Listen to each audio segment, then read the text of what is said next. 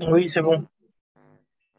D'accord, donc passons à la conférence master du, du, docteur Frédéric Panouli, qui est maître de conférence à l'Institut des sciences et techniques de l'Antiquité, responsable du master Rabouk en Digital Humanities à l'Université de Franche-Comté en France. Donc, il va nous parler du numérique et patrimoine, une combinaison gagnante, l'exemple du master valorisation numérique du patrimoine culturel africain de l'Antiquité à nos jours. Donc, il y aura 20 minutes de présentation et 10 minutes d'échange pour 30 minutes au total. Monsieur euh, docteur Frédéric Spagnoli, si vous êtes prêt, je vous passe la parole. Oui, je suis. Je suis prêt. Merci, monsieur le coordinateur général. Merci beaucoup et chers collègues. Merci pour cette, euh, cette possibilité, cette invitation. Donc, je vais partager mon PowerPoint. Euh, là, ça devrait être bon. Est-ce que... Alors, attendez, je refais. Excusez-moi, juste un petit problème technique. Euh, non, mais normalement, ça devrait être bon. Oui, c'était bon. C'était bon? Oui, oui le, le, partage est en train de se faire, c'est bon. Numérique et participant, c'est bon. Ok, ok. Alors, je vais juste passer en mode diaporama. Voilà, alors aujourd'hui, euh, alors merci encore pour cette invitation. Aujourd'hui, j'aimerais vous parler euh, des liens entre numérique et patrimoine en prenant l'exemple d'un projet de master que nous avons développé ici à Besançon en partenariat avec nos collègues de l'Université Charente Diop de Dakar euh, au Sénégal, donc, et d'un master 2, valorisation numérique du patrimoine culturel africain de l'Antiquité à nos jours. Alors, pourquoi ce partenariat? Alors, tout d'abord, je vais vous l'expliquer dans un premier temps en évoquant la genèse de ce master et comment ce, projet de master se veut être une tentative de réponse à différents questionnements euh, que nous nous posons ici à Besançon et que nos collègues de Dakar se sont aussi posés et se posent également. Et enfin, dans un deuxième temps, je vous présenterai plus en détail le master et son évolution. L'objectif, bien évidemment, est d'avoir aussi vos retours quant à l'architecture de cette formation, quant à, la, la, pertinence d'une formation, d'un lien entre euh, numérique et patrimoine, et bien évidemment, euh, euh, comme vous le verrez à la fin de la présentation, c'est une aventure qui vient de débuter. Et comme on dit, plus, il y a plus on est de fous, plus on rit, plus il y a de participants, plus c'est intéressant. Donc, pourquoi pas aussi d'éventuelles futures collaborations. Alors, pourquoi ce, master Donc, comme l'a dit le coordinateur général, je travaille, moi, à l'Institut des sciences et techniques de l'Antiquité à l'Université de Franche-Comté à Besançon, en France, donc dans l'Est de la France. Et nous avons depuis, euh, longtemps des partenariats avec le département de euh, langue et littérature langues anciennes de l'Université Charente Diop de, Dakar, et en particulier depuis, quelques années à la structuration au laboratoire avec le laboratoire Decrypta. Et donc, nous avons décidé en 2021 de répondre au deuxième appel à projet du campus franco-sénégalais. Qu'est-ce que le campus franco-sénégalais? C'est une structure binationale qui a été créée suite à un accord en 2018 entre Macky Sall, notre président Macky Sall et le président Macron, dont l'idée de développer des formations euh, binationales et de permettre d'avoir des formations françaises sur le territoire euh, sénégalais et d'avoir des liens aussi ensuite avec la, France. Et lorsque ce euh, deuxième appel à projet, donc le campus franco-sénégalais a débuté en 2019, lorsque ce deuxième appel à projet a été lancé en 2021, il n'y avait aucune formation en sciences humaines. Et nous, nous nous sommes dit, nous travaillons depuis longtemps sur le numérique, en particulier sur un master qui s'appelle Rare Book and Digital Humanities, livre ancien et humanité numérique, qui est à 80% en anglais et 20% en français, et qui combine en fait euh, études sur le livre ancien, l'histoire du livre et le livre rare au sens large, parce que ça peut être aussi les livres d'art et les humanités numériques. Euh, les humanités numériques étant tout ce qui permet les liens entre nouvelles technologies et recherche en sciences humaines. Et ce master, pourquoi en anglais? Parce que ça nous a permis d'avoir un développement plus, international. En particulier, nous travaillons avec des collègues américains, euh, en particulier d'Harvard et de la New York University. Euh, ce master dans cette combinaison euh, est assez unique au monde. Il y a beaucoup de masters en livre ancien, énormément de masters en humanité numérique, mais aucun qui combine qui combine les deux. Et l'idée, évidemment, c'était de s'élargir à un plus grand nombre de, euh, de patrimoines euh, culturels. Au sein de l'ISTAR, donc de Besançon, nous avons un partenariat depuis le début des années 80 avec l'université de Charenta Diop de Dakar, euh, pour qui ne s'appelait pas encore à l'époque Charenta Diop, à la fin des années 70 et début des années 80. Pourquoi? Parce qu'un professeur de grec ancien recruté à Besançon en 1980 ou 81 était auparavant euh, maître de conférence à Dakar. Euh, et donc, il a tissé de nombreux liens avec les, collègues et les étudiants là-bas et formant toute une série de générations qui maintenant, de maîtres de conférences et de professeurs des universités, qui maintenant partent à la retraite. Donc, nous, avions ce nous avons ce partenariat depuis le début des années 80 et nous nous sommes rendus compte qu'en 2021, eh bien, il y avait quelques échanges de professeurs, surtout d'ailleurs dans le sens Sénégal-France plus que dans le, France, dans le sens France-Sénégal, euh, mais que nous avions dans les tuyaux l'idée d'un colloque depuis des dizaines d'années et rien ne bougeait. Et comme il y avait toute une, il y a toute une nouvelle génération qui est arrivée à l'université, nous nous sommes dit, ben voilà, n'est-ce pas l'occasion, entre guillemets, d'actualiser un peu ce partenariat en, en le faisant sortir des canons habituels et en ajoutant des aspects, disons, liés au numérique, et vous le verrez plus tard, comme j'expliquerai, au, patrimoine. Et pourquoi le patrimoine?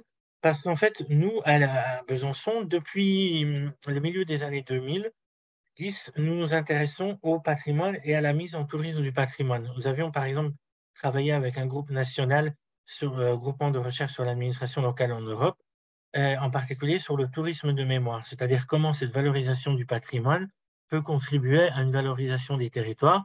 Et bien évidemment, vous l'avez compris en filigrane, comment ces liens peuvent, euh, ces, ces, liens et ces débouchés professionnels peuvent offrir à nos étudiants d'autres possibilités que les métiers traditionnels liés aux formations d'histoire, de lettres classiques ou, de langue. Et donc ici, vous avez un lien sur une publication. Et bien évidemment, le PowerPoint avec les liens, je le passerai au coordinateur euh, général, ainsi que mon adresse mail, bien évidemment. Et nous nous sommes rendus compte que cette évolution de la question du patrimoine et de sa valorisation, euh, que nous, pour laquelle nous avons commencé à travailler, est liée aussi à différentes évolutions, tant au niveau national qu'au niveau international, en particulier avec l'idée de transmission, mais aussi avec la définition de plusieurs types de patrimoine, que ce soit patrimoine naturel, mais aussi patrimoine culturel matériel, et aussi et surtout pour nous de sciences humaines, tout ce qui est patrimoine culturel et matériel. Je pense notamment à la Convention de Faro du milieu des années 2000 euh, et de toutes ces, différentes évolutions. Et donc, euh, pardon, si je peux, excusez-moi, j'ai un petit problème, voilà. Et euh, surtout en nous basant sur une, une définition de, de l'UNESCO sur le patrimoine culturel que vous voyez ici, qui dit grosso modo que ce que l'on entend par patrimoine culturel a changé au cours des dernières décennies et que le patrimoine culturel ne se limite pas seulement aux monuments et aux objets, mais aussi aux expressions vivantes euh, héritées des ancêtres et transmises aux descendants, telles que les traditions orales, les arts du spectacle, les pratiques sociales, les connaissances et les pratiques, etc., et les savoir-faire nécessaires à l'artisanat traditionnel. Et donc, nous nous sommes dit qu'il y avait peut-être là, dans le cadre de ce campus franco-sénégalais, de cet appel à projet, une réflexion à avoir et un, euh, un aspect à creuser avec nos, avec nos collègues de, Dakar.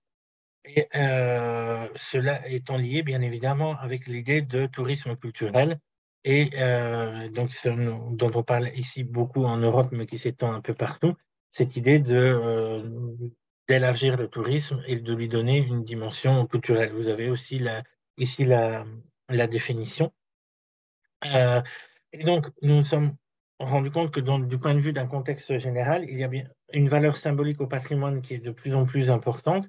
Dans un cadre plus large, on parle beaucoup, évidemment, et la France est souvent en première ligne, euh, sur, en première ligne, entre guillemets, d'un point de vue positif comme d'un point de vue négatif, sur les, œuvres africaines, le retour des œuvres africaines, mais aussi un intérêt croissant sur la valorisation du patrimoine africain en Afrique, mais aussi en Europe et sur d'autres continents. Et bien évidemment, pour nous, ici en France, ce qu'il fallait développer, c'est un master qui soit unique ou qui existe, euh, qui ne soit que très peu représenté dans les universités françaises. Et c'est ainsi que nous avons décidé de nous intéresser au lien entre patrimoine et numérique.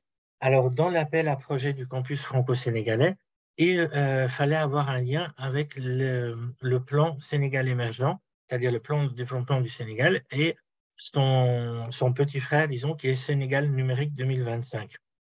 Euh, alors, les chiffres que nous avons trouvés nous indiquaient une forte croissance du numérique. Donc, comme vous le voyez, avec un taux de pénétration de 94,82% selon l'autorité sénégalaise de régulation des télécommunications et des postes en 2021. Alors, ce chiffre est à prendre avec des pincettes. Euh, pourquoi? Parce que euh, il se base sur un mode de, calcul qui dit une seule personne, enfin une personne a une seule connexion un seul abonnement Internet, un seul téléphone portable, etc. etc. Bien entendu, c'est à limiter, mais néanmoins, j'avais travaillé auparavant en tant que responsable d'un master langue et e-marketing et commerce électronique, et nous avions organisé euh, à l'Université de Franche-Comté en 2015 une journée l'Afrique et le web, euh, où il y avait des collègues de Guinée-Conakry, du Cameroun et de Côte d'Ivoire. Et nous avions bien vu qu'il y avait quelque chose à créer avec le, numérique. Et donc, nous avons lancé ce, master en essayant de euh, l'intégrer dans, euh, dans, le plan Sénégal numérique 2025, donc son, donc son axe 3, avec différents niveaux, industrie numérique innovante, etc., euh, diffusion du numérique, etc., et l'idée, c'était de bah, voir qu'est-ce qu'on pouvait, euh, qu'est-ce pouvait construire ensemble sur numérique et patrimoine. Alors, est-ce que c'est vraiment numérique et patrimoine pour toutes et pour tous? Ça, c'est quelque chose que nous, que nous sommes en train de, creuser. Et bien évidemment, un, comme vous pouvez l'imaginer, c'est un chantier en cours et surtout, c'est un monde, quand on touche au numérique, c'est un monde en pleine, euh, en pleine évolution. Alors, l'organisation de ce, de ce master. Donc, il a été euh, financé par le campus franco-sénégalais, euh, donc enfin, sélectionné et donc financé par le campus franco-sénégalais à partir de 2022.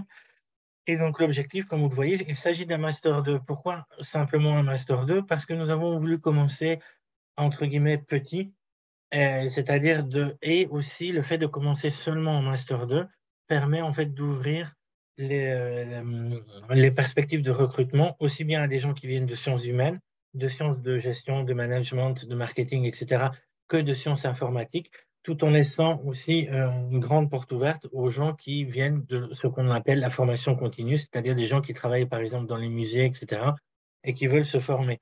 Et il s'agit donc d'un semestre de cours et un semestre ensuite de stage et de, de mémoire. Donc, comme, je l'ai dit tout à l'heure, il y a deux universités à la base, donc euh, l'UCAD et l'UFC. Mais nous avons voulu associer dès le départ des acteurs du monde professionnel, en particulier une entreprise qui est basée à Dakar, mais qui travaille maintenant aussi euh, beaucoup euh, dans toute l'Afrique de l'Ouest et un peu en Afrique centrale, et qui a un siège aussi à Abidjan et à, et à Kigali. Euh, nous donc cet aspect numérique. Nous avons associé aussi, nous avons un partenariat ici à l'UFC avec l'université de Douala, en particulier l'Institut des Beaux-Arts, etc., où nous avons un collègue spécialiste de tourisme que nous avons associé avec d'autres personnes. Et aussi et surtout en ce qui concerne l'art et le patrimoine, nous avons à Dakar le musée des civilisations noires qui a été inauguré, si ma mémoire est bonne, en 2018. Évidemment, d'autres experts et d'autres professionnels de l'art. L'idée, c'est d'avoir quelque chose liés à l'université avec des connaissances théoriques, mais qui permettent aussi aux gens de sortir, aux étudiants, pardon, de sortir de, de l'université. Par exemple, les cours de numérique que nous avons organisés euh, avec, avec l'entreprise Yux, ils ont eu lieu non pas à l'UCAD, mais directement dans les locaux de, de Yux. Pourquoi? Pour des questions de matériel et aussi pour des questions d'accessibilité, parce que c'était beaucoup plus facile de faire les cours dans, dans ces bureaux. Et euh, donc, comment se structure la formation? La formation est divisée en donc, deux semestres, un semestre de cours, un semestre de stage et de mémoire. Et donc, nous, nous sommes basés sur une architecture, disons, qui est assez traditionnelle et qu'on retrouve dans d'autres formations en France et que les collègues de, de l'UCAD ont aussi pour leur diplôme de langues anciennes ou d'histoire, c'est-à-dire 5 UE de 6 ECTS, donc évidemment les crédits européens, des UE des unités d'enseignement à la base, disons, de, de, de, base ou disons traditionnelles, que sont héritage culturel et outils linguistiques, aussi bien liés au patrimoine, surtout liés au patrimoine africain, avec évidemment un regard sur d'autres patrimoines, en particulier celui européen. Et en, les trois autres unités se veulent vraiment tourner sur le monde professionnel, donc marketing et numérique. Donc c'est la société UX Design dont je parlais, mais aussi médiation culturelle, tourisme et entrepreneuriat. L'idée étant évidemment de favoriser aussi la création d'entreprises ou de micro-entreprises, ou en tout cas de sensibiliser les étudiants à cette possibilité et en faire pré-professionnalisation et internationalisation. Pourquoi? Parce que tout simplement, comme nous sommes un master binational, l'idée est évidemment de permettre aux, personnes de voyager, de venir par exemple pour le semestre 2 en France ou d'aller dans d'autres d'autres pays. Donc nous avons euh, pour le semestre 2, donc ça m'a permis de faire la transition, un stage de quatre mois minimum qui se conclut par un rapport de stage et un mémoire de recherche. Alors, l'idée, c'est d'offrir toute cette série de débouchés. Alors, nous sommes à la première promotion, donc nous verrons, c'est quelque chose qui est en cours, en train d'être développé, mais euh, donc métiers liés à la culture, au tourisme, à la mise en tourisme du patrimoine, au numérique, l'art, l'histoire de l'art, le développement culturel, livres, etc., communication, et évidemment euh, la partie recherche, puisque l'idée avec le mémoire de recherche est d'ouvrir la possibilité aux étudiants de pouvoir faire des doctorats en particulier et pourquoi pas des doctorats en coût utile. Euh, pour le moment, les cours ont lieu en présentiel à Dakar avec des enseignements hybrides. Nous avons lancé, avec le cadre du campus franco-sénégalais, une campagne de recrutement dans toute la sous-région, euh, Afrique de l'Ouest. Mais très vite, nous nous sommes rendus compte que ben, c'est dommage de, de, se limiter juste au Sénégal et à l'Afrique de l'Ouest, ou surtout, même si, vous le savez, l'UCAD a un rayonnement euh, sur toute la, sur la sous-région, voire plus. Et en fait, le, hasard a fait qu'il y avait une euh, un appel à projet de l'AUF, donc de l'Agence universitaire de la francophonie, pour euh, passer à une formation en, en ligne, euh, avec peut-être quelques cours en présentiel. Nous sommes en train de conclure ça. Donc, nous avons répondu à l'appel à projet de l'AUF et nous avons été acceptés. Et donc, vous avez le lien en bas. La formation va débuter au 15 octobre, euh, en priorité en ligne. Nous verrons après si nous pouvons organiser, de toute façon, dans le cadre de l'AUF, avec le, les bureaux numériques qu'ils ont un peu partout, il y a possibilité d'organiser des sessions d'examen. Et donc, l'idée, c'est maintenant de passer à une, une, nouvelle, euh, à une nouvelle dimension et de, de se lancer, de ne pas se limiter juste au Sénégal et à, la sous-région d'Afrique de l'Ouest. Donc, euh, évidemment, cela implique aussi, de, à terme, d'élargir le panel de l'équipe pédagogique, bien évidemment, qui est pour le moment, vous l'aurez compris, essentiellement franco-sénégalaise, même s'il y a des touches, euh, des touches camerounaises et euh, en particulier euh, ailleurs. Et voilà, donc ce projet, c'est un projet qui, qui a pour objectif de, qui est à la base, qui est né à la base comme un renouvellement ou disons une nouvelle, euh, un nouvel essor donné à un partenariat historique. Et on se rend compte que ça peut être quelque chose qui peut être euh, développé dans de, multiples aspects et qui peut permettre aussi de créer à terme aussi un réseau de recherche ou d'autres colloques. Nous pensons à organiser un colloque euh, à Dakar euh, l'année prochaine. Alors, à voir aussi, on verra comment, euh, comment tout se passe niveau situation. Évidemment, l'utilisation de l'hybride, ben, nous, enfin, de l'hybride et des nouvelles technologies ben, nous est très utile, même si moi je suis un fervent partisan du présentiel et des, des rencontres, surtout les rencontres qu'on peut avoir en marge d'un colloque, etc. Et donc, hum, je ne sais pas encore si c'est une combinaison gagnante numérique et patrimoine. C'est une combinaison prometteuse et c'est un projet que, que j'avais à cœur de, que j'ai à cœur et que j'apprécie, enfin, que j'aime beaucoup puisque évidemment je suis à la base avec mes collègues, euh, mes collègues de Dakar. Et, mais c'est un projet aussi que, voilà ce que je voulais vous présenter aujourd'hui à l'invitation du, coordinateur général. Et donc, comme vous l'avez compris, c'est une histoire à suivre, à suivre maintenant, mais aussi dans les, prochaines années. Et voilà, j'avais 20 minutes, je crois que j'arrive à 20 minutes. Donc, je vous remercie pour votre attention. Et je suis disponible, bien évidemment, pour toutes les questions que vous voudrez bien me poser maintenant ou, ou après par, par email. Voilà. Merci. Merci, euh, Monsieur Frédéric Panori, pour votre présentation qui a tenu dans le temps. le respect du temps, c'est aussi une preuve de discipline et de sérieux. merci de cette présentation, hein, qui est, riche, cette formation qui effectivement s'inscrit en droite ligne de, la thématique de ce, de ce colloque, adéquation, formation, emploi, société, recherche scientifique, innovation et tout, une nouvelle perspective de la recherche en Afrique et euh, qui prend en compte effectivement cette, euh, cet aspect des cultural studies, euh, des nouvelles technologies de l'information, de la, de, la, communication, du patrimoine, etc. Donc, je vais tout de suite passer la parole, hein, ouvrir le, le, panel, au débat, les débats, et passer la parole au public, ceux qui ont des, questions à adresser à monsieur, au docteur Frédéric Spagnoli. Voilà, vous levez la main, je vous passe la parole et euh, vous lui adressez vos questions. Voilà, nous avons une main levée, la main du professeur Malaman Djedou Martin, qui est le euh, président du comité scientifique de ce, euh, de ce colloque. Professeur Malaman, vous avez la parole. merci infiniment, Ghislain. merci à sa belle présentation et pour euh, cette conférence qui euh, donne un autre cachet aussi à, ce colloque. En tout cas, merci infiniment. J'ai suivi avec attention euh, la présentation. Moi, j'ai une question et peut-être une doléance. Je ne sais pas si je peux appeler ça une doléance.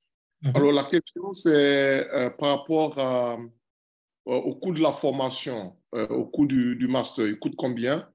Et euh, si euh, un étudiant, par exemple, euh, ivoirien hein, de l'université de Korogo était intéressé, qu'est-ce qu'il peut faire, évidemment, pour pouvoir participer à, ce master-là? C'est vrai que ça se déroule en présentiel à Dakar, mais combien ça coûte déjà?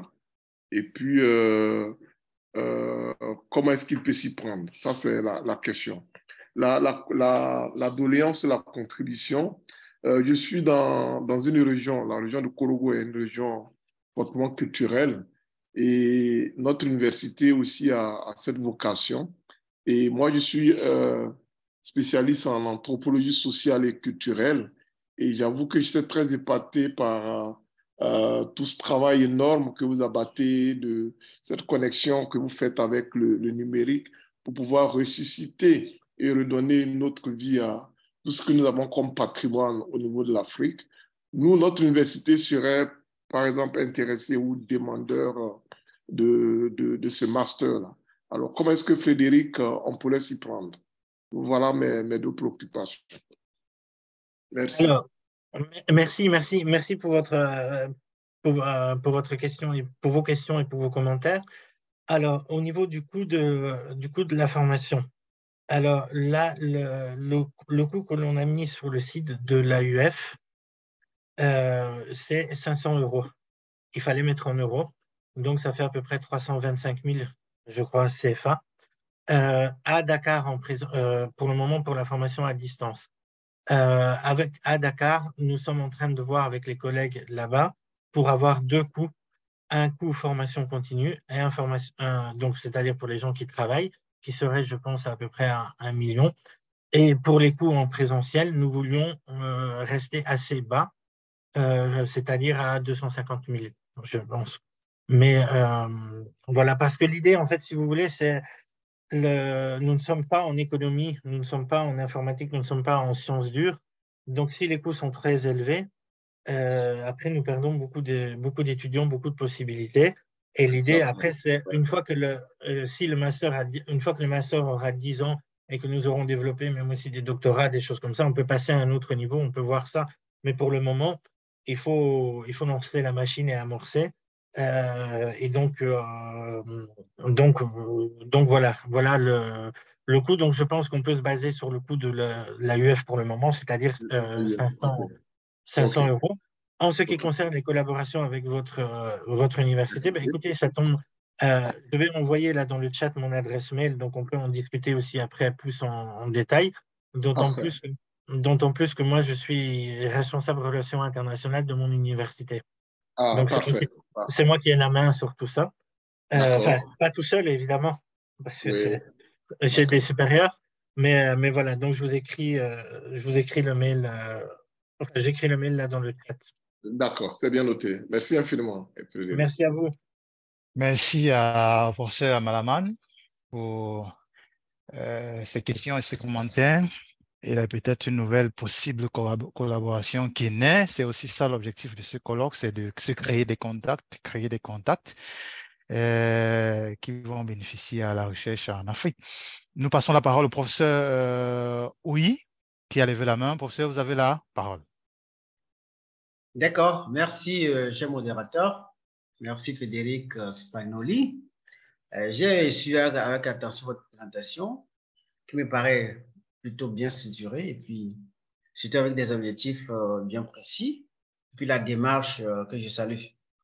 vous avez mis l'accent sur le processus de recrutement des, étudiants. Maintenant, moi, je vais plus loin dans la réflexion. Puisque parler de l'AUF, je me dis, il avait fait sans limite pas aux deux pays que vous avez cités. C'est vrai, il avait fait un coucou aux autres pays.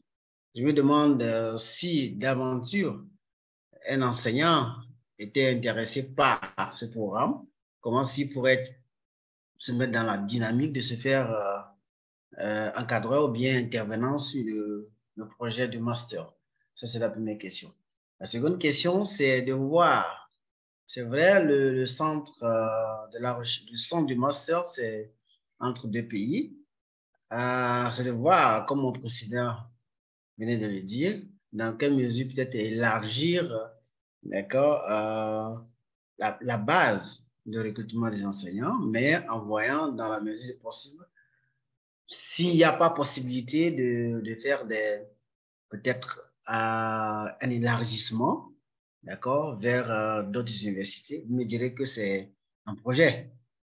Mais le projet se bâtit déjà sur euh, euh, un noyau. Et si d'aventure mon université était intéressée par un, tel projet, quelles sont les démarches à adopter de façon à ce que l'université de Lomé aussi puisse, d'une manière ou d'une autre, non seulement voir la mesure possible comment envoyer ses étudiants, mais aussi en face, trouver un créneau pour faire participer ces enseignants dans la formation dans ce master. Voilà un peu ma préoccupation, tout en disant merci pour l'initiative. Je pense que euh, c'est aussi l'occasion de, pouvoir euh, partager l'expertise et la compétence. Et nous, on serait, on serait intéressés dans la mesure possible de pouvoir euh, aller vers ce master. Voilà, merci. Merci pour, merci pour vos commentaires. Alors justement, oui, l'idée d'avoir le, financement AUF et de passer sur l'échelle de l'AUF, c'est évidemment d'avoir un, un, bassin de recrutement sur, enfin, entre, si on peut l'appeler comme ça, sur toute l'Afrique, c'est-à-dire de ne pas se limiter au, Sénégal. Et euh, c'est l'opportunité qui a voulu ça. À la base, on est né comme campus franco-sénégalais. Il y a eu cet appel à projet de l'AUF. Voilà, comme on dit, l'appétit vient en mangeant. Donc, on a, on a saisi la balle au bon. Euh, et, donc, euh, évidemment, cela implique, à partir du moment où on élargit le panel de, enfin, pas le panel, le, oui, le panel de recrutement, c'est-à-dire qu'on élargit le panel de cours, il faut des spécialistes qui ne se limitent pas euh, au Sénégal. Évidemment, donc, le, pareil, mon adresse mail là est dans le, chat. Je pense que on peut se contacter, voir comment, quoi, développer, comment développer quelques, enfin voilà, développer un partenariat. Donc, il y a avec grand, grand plaisir. Donc, on peut, on peut échanger après euh, plus en détail en, tête à tête.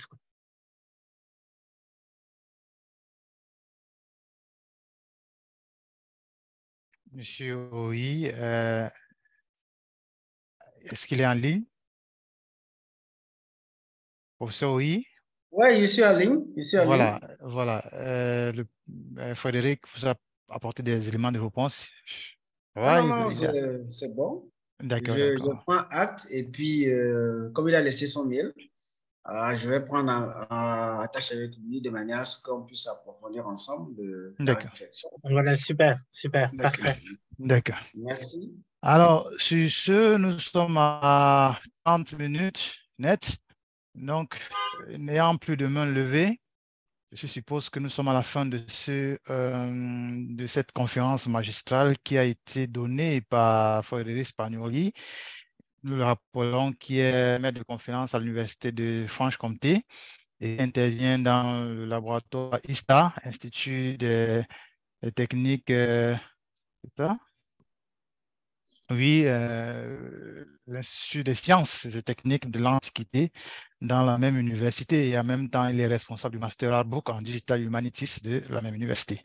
Donc, il nous a parlé d'une thématique qui traite du numérique et du patrimoine, un master euh, franco-sénégalais qui a pour vocation de s'élargir euh, dans le, dans le futur et de nouer de, de nouveaux partenariats. Alors, nous passons la parole à M. Euh, Frédéric pour son dernier mot. Nous allons clôturer le, la conférence.